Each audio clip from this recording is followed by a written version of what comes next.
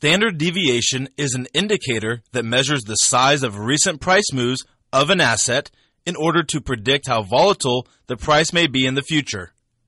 It can be found by selecting the technical indicator icon on the left side of the toolbar. The indicator template screen will appear on the right side of your screen. Next, select standard deviation from the list.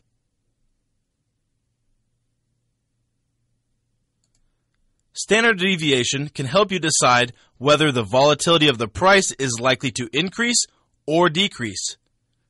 We will use the default 14 days in the period section,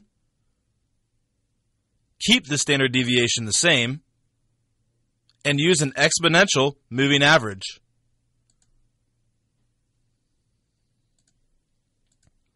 If you want to change the graph's color, click on the image of the three horizontal dots next to the name of the color. Then select a new color and press the OK button at the bottom right of the screen.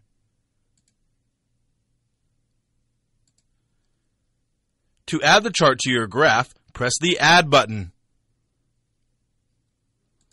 A very high standard deviation reading indicates that a huge price change has just occurred, but that a decrease in volatility could soon follow. A very low standard deviation reading indicates the opposite. The standard deviation indicator is a part of the calculation of Bollinger Bands and is also practically synonymous with volatility. Press the Close button to close the indicator template screen. This indicator measures the scale of price deviation related to the moving average. This means that if the indicator's value is large, the market is experiencing high volatility.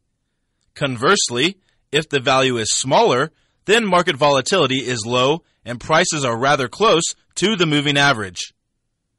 Usually, standard deviation is a composite of other indicators.